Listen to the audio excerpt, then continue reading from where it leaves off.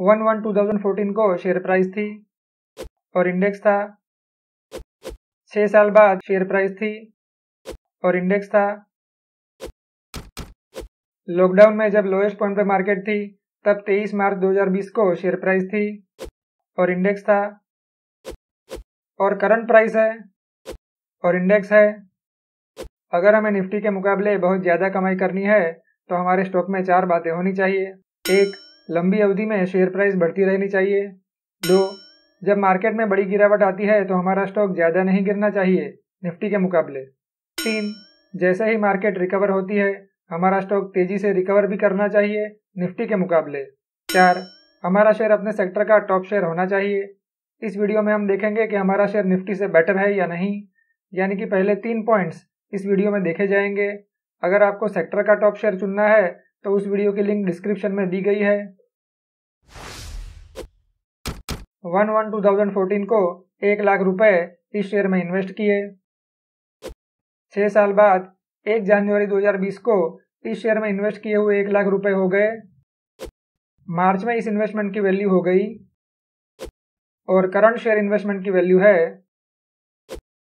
one one two thousand fourteen के दिन एक लाख रुपए निफ्टी फिफ्टी शेयर्स में इन्वेस्ट किए। छः साल बाद one one two thousand twenty के दिन निफ्टी फिफ्टी में इन्वेस्ट किए हुए एक लाख रुपए हो गए।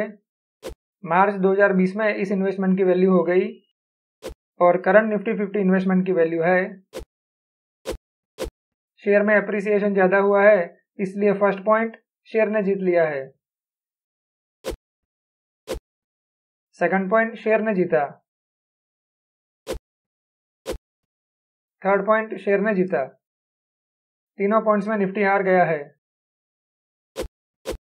ओवरऑल शेयर जीता।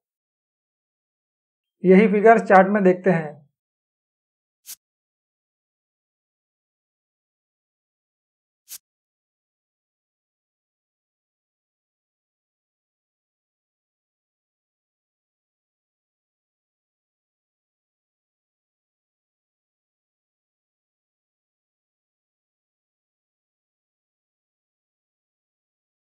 यही एक लाख रुपए की अगर हमने एट परसेंट इंटरेस्ट से फिक्स डिपॉजिट की होती तो आज उसकी वैल्यू हो गई होती।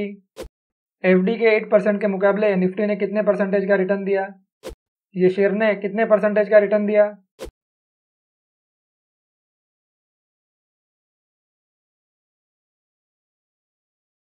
आज अगर किसी को एक लाख रुपीस इन्वेस्ट करने हैं तो वो क्या करे? ये स्टॉक में इन्वेस्ट करे। निफ्टी फिफ्टी स्टॉक्स में इन्वेस्ट करे। या एफडी में इन्वेस्ट करें। ये शेयर के और निफ्टी के एन्यूअलाइज्ड रिटर्न परसेंटेज हमने देखे वही रिटर्न परसेंटेज अगर भविष्य में भी कंटिन्यू होंगे तो एक साल के बाद क्या होगा?